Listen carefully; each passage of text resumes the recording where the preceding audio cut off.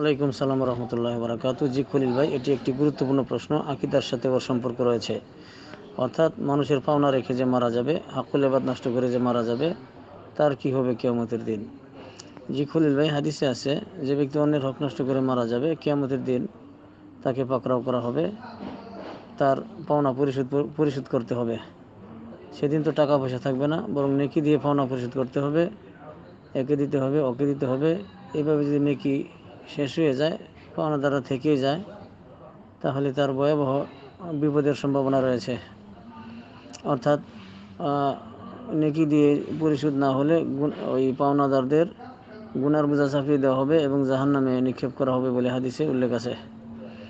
তবে এখন প্রশ্ন হলো যে তাহিদপন্থী মুমেনরা তো আল্লাহ সুবাহ তালের ক্ষমা পাওয়ার হকদার, রহমত পাওয়ার হকদার, এই জন্যই আলেমগন বলেছেন যে ব্যক্তি পাওনাদারদেরকে রেখে মারা যাবে, পাওনা পরিশোধ করার আগেই তার যে নিয়তের মধ্যে এটা থাকে, দিয়ে দিবে, কিন্তু দিতে পারে নাই, এরকম কোনো সুযোগ যদি না হয়, দেওয়ার মতো সুযোগ না হয়, তাহলে আল্লাহ সুবাহ তালা তার কোনো না কোনো একটা ব্যবস্থা করবেন কি আমাদের দিন।